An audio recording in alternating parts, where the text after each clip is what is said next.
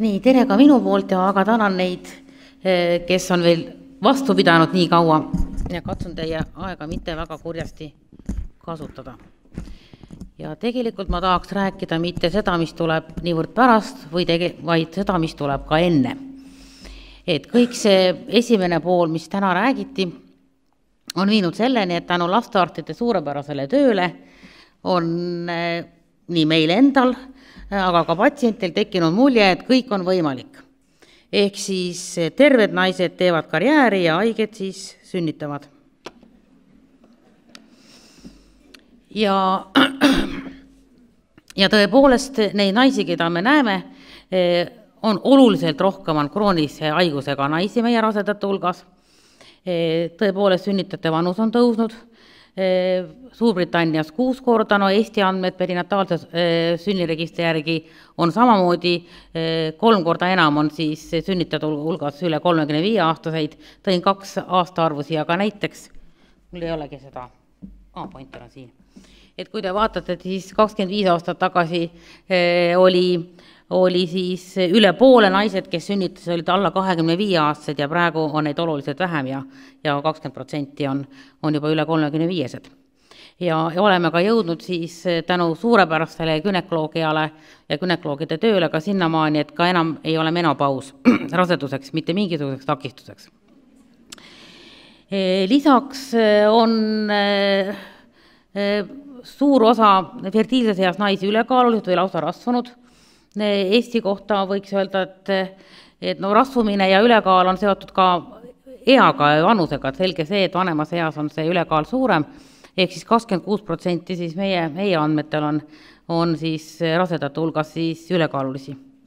ja loomulikult kuna ka krooniliste haiguste ravi on sellisel määral paranenud, et varasemalt need naised, kes rasedaks ei jäänud, siis, siis nüüd nad jäävad ja üldsegi mitte väheoluline ei ole siis kunstliku viljastamise ka väga suured edusammud, mille tulemusena siis selliste raseduste hulk kogu maailmas plahvatuslikult kasvab ja Eesti pole siit ka mitte, mitte välja jäänud.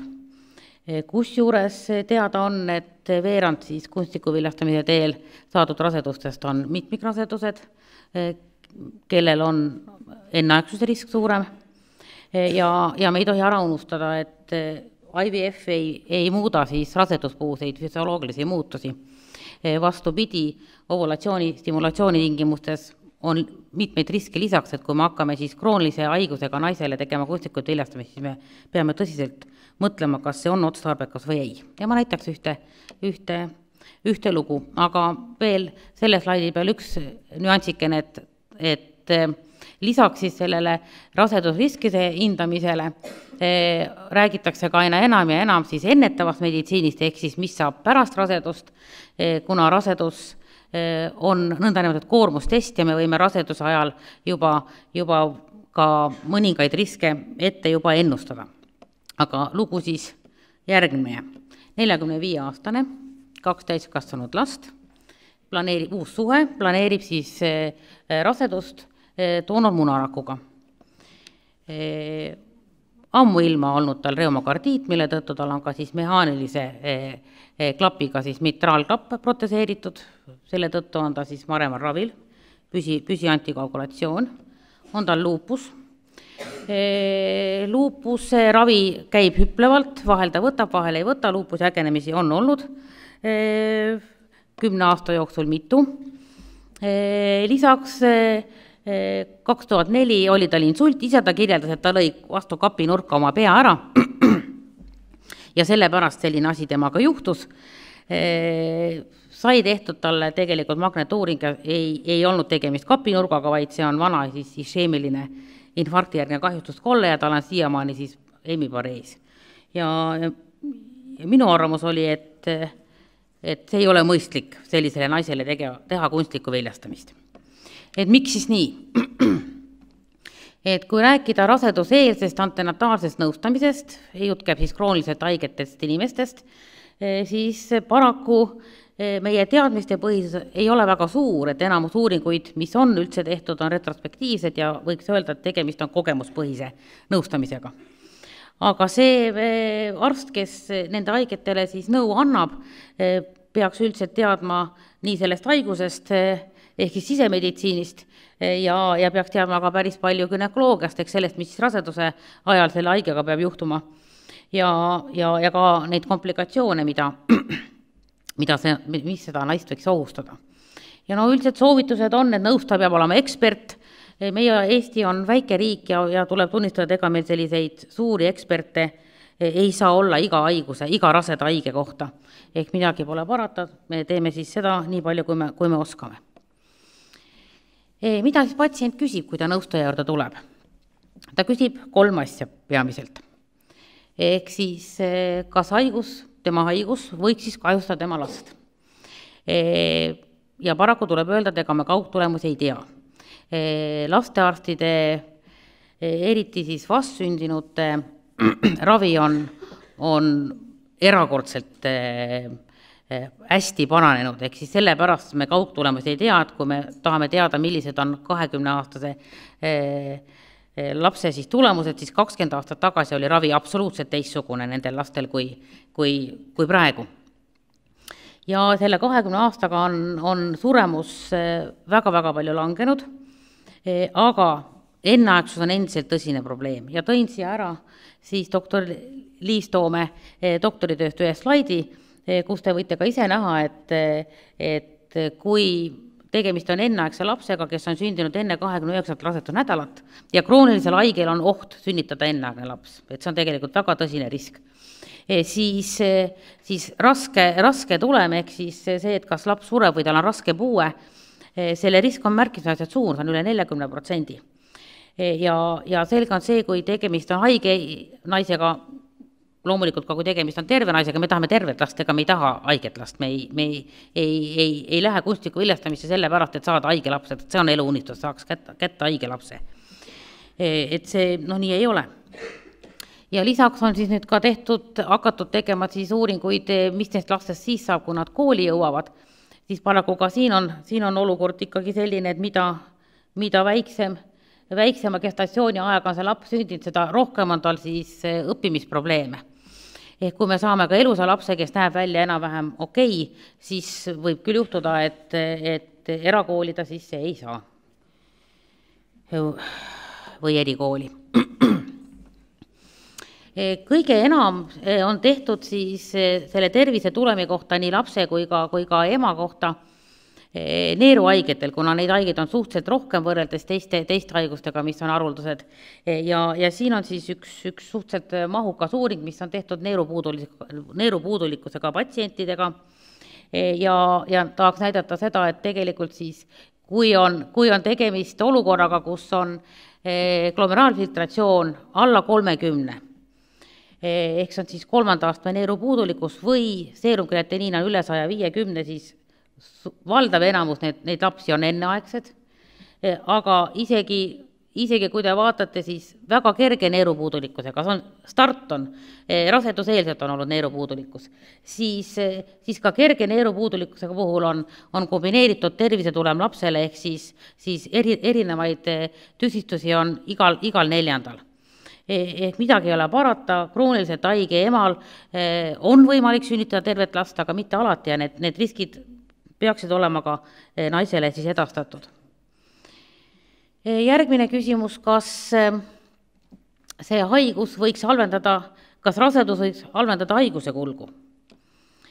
siis jah ja ei, ehk siis tulem tegelikult sõltub konkreetsest haigusest, selle haiguse raskusastmest, haiguse aktiivsusest ja ka siis süsteemsest elundite haaratusest. neerupuudulikkuse korral on väga suur tõenäosus, kui tegemist on siis kolmanda äh, astme neerupuudulikkusega või enam, see siis on glomeraalfiltratsioon alla kuuekümne või seerumkreatiniini üle saja viiekümne mikromooli liitris, siis väga suure tõenäosusega rasedusega tekib probleeme ja, ja tulemas on ilmselt ka enneaegne laps.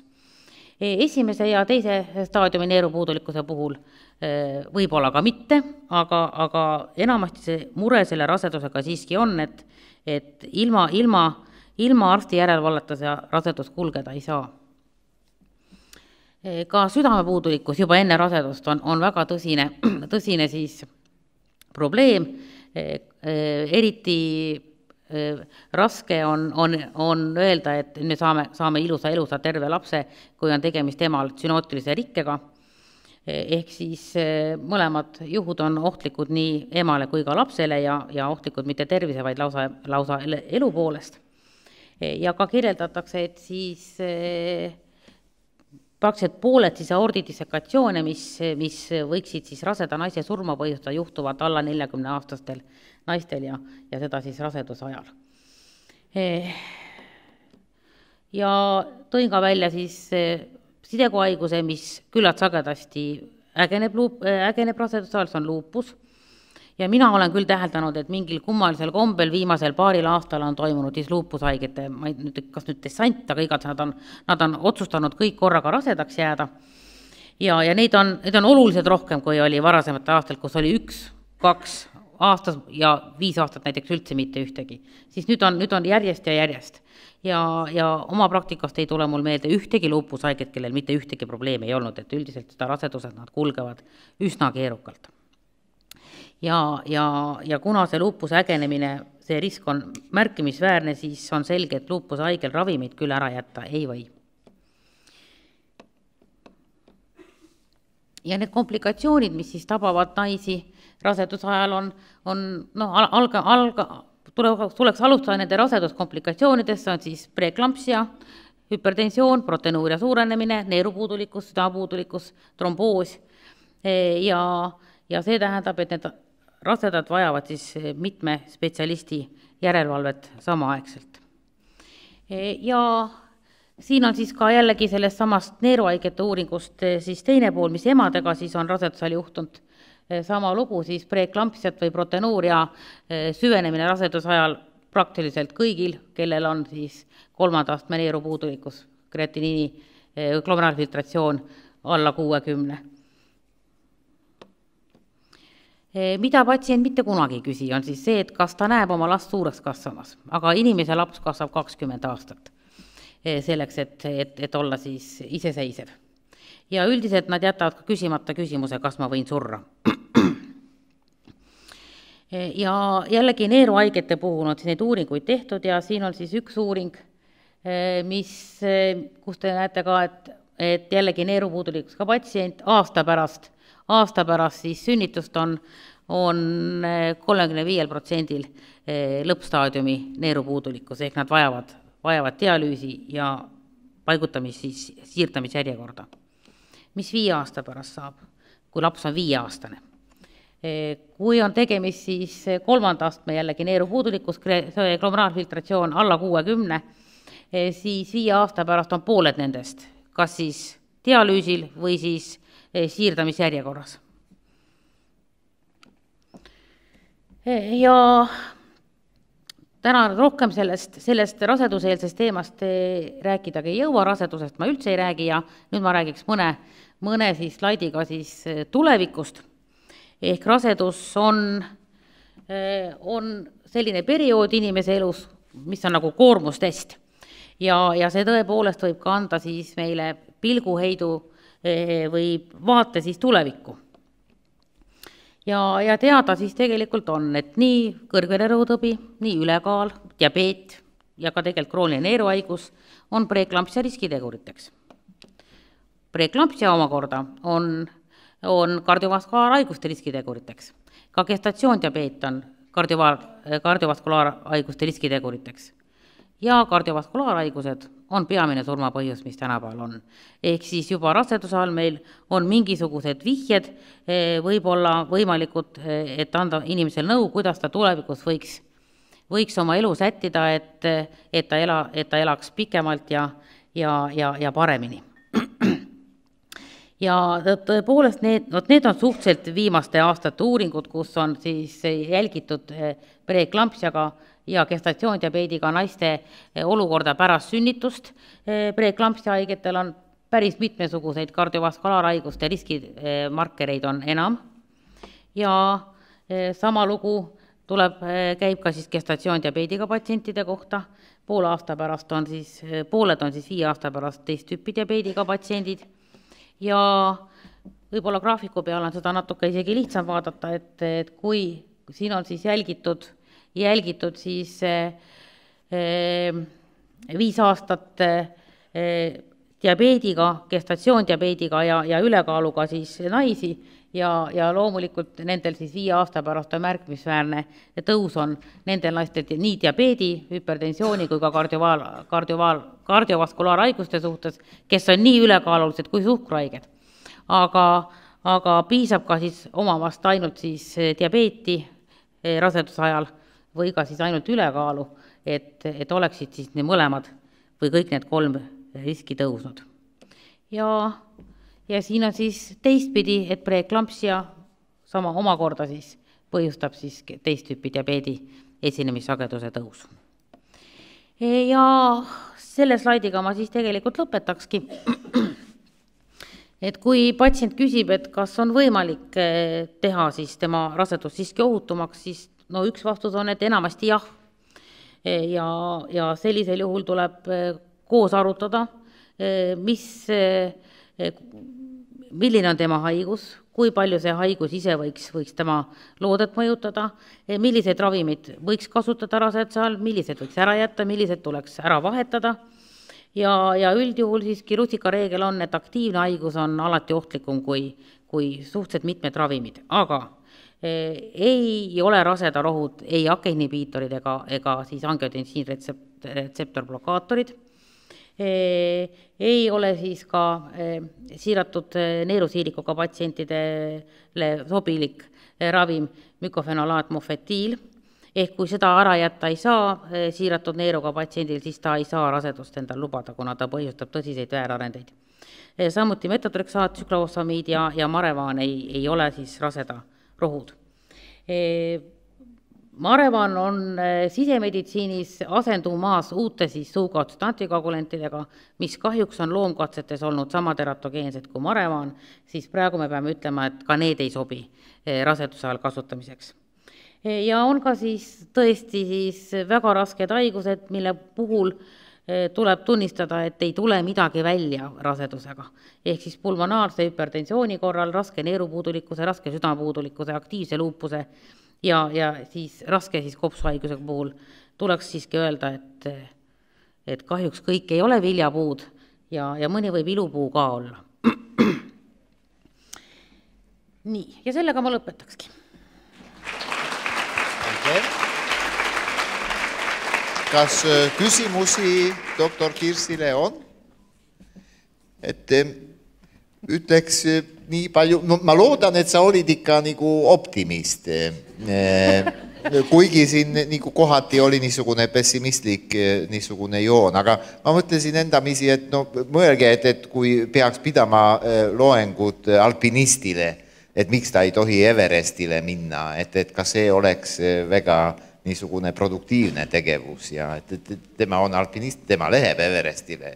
Ta teab, et seal iga kümnes sureb ja ega kui ta isegi ära sureb seal eh, Everestil, ega me ei hakka ju parastama, meil ikka on kahju, et ta ära suri, ta oli ju nii tubli alpinist ja nii et ma mäletan, et noh, mul oli niisugune periood, kus ma läksin tülli diabeetikutest rastatega, kellel olid igasugused paatiad seal nagu alates eh, halvadest silmadest ja eh, magu ei töötanud normaalselt ja kõik ja aga jälle nüüd see aasta tuli arvele kaks naist glomerulonephriitiga ja, ja, ja niisuguse mõõduka neerupuudulikkusega ja jälle oli niisugune suur ärevus, aga nendel oli nagu kordusrasedused, ühel oli üks rasedus katkestatud eelnevalt ja, ja, ja teisel oli nagu teine laps tulemas. ei saa öelda, et nad ei ole informeeritud. Nad tõepoolest ei küsinud seda, et, et kas nad nüüd surevad ära selle rasvuse ajal või mitte, et, et nemad loodavad, et ei sure ja ja et ühel läheb siiamaani hästi, teisel pidi ravi muutma, sellepärast et analüüsid läksid kehvemaks, aga eks see nende asi on valida, olla alpinist või mitte, meie asi on siis neid aidata selles ja loodan, et sa oled nõus minuga.